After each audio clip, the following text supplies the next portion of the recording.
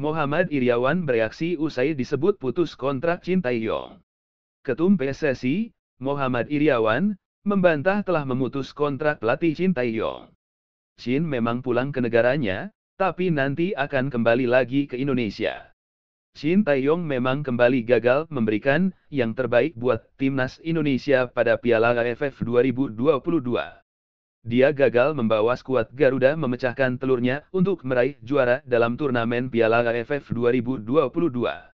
Nasib dia lantas dipertanyakan. Apalagi belakangan ada kabar miring kalau sang pelatih telah meninggalkan Indonesia ke Korsel karena kontraknya telah diputus PSSI. Namun hal itu dengan tegas dibantah oleh Iriawan melalui Instagram pribadinya. Banyak yang bertanya kepada saya bagaimana nasib Coach Shin Taeyong pasca ajang Piala AFF 2022 lalu. Saya pastikan PSSI akan tetap menghormati kontrak beliau hingga 31 Desember 2023 atau sampai masa kontraknya berakhir, tulis Muhammad Iriawan. Jadi kepulangan Coach Shin ke Korea Selatan ini bukan karena diputus kontrak, tetapi PSSI memberikan masa libur untuknya karena tugas berat menanti di awal Februari 2023 mendatang untuk persiapan Piala Dunia U20, sambung dia. Muhammad Iriawan puas. Kendati gagal, Shin sudah bikin mantan Kapolda Metro Jaya itu sudah puas.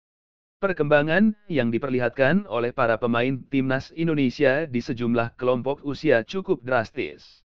Sejauh ini saya sangat puas dengan kinerja Coach Shin dengan beberapa keputusan berani yang diambil dirinya sangat berpengaruh atas progres pencapaian timnas selama dua tahun lebih menangani timnas, papar dia.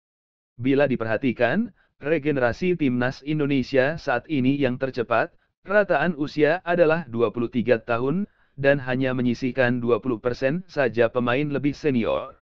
Keputusan Coach Shin ambil bagian nyaris di semua kategori usia menjadi kunci regenerasi berjalan, sehingga muaranya kita naik peringkat 151 FIFA, dan lolos ke putaran final Piala Asia setelah sekian lama, ucap dia.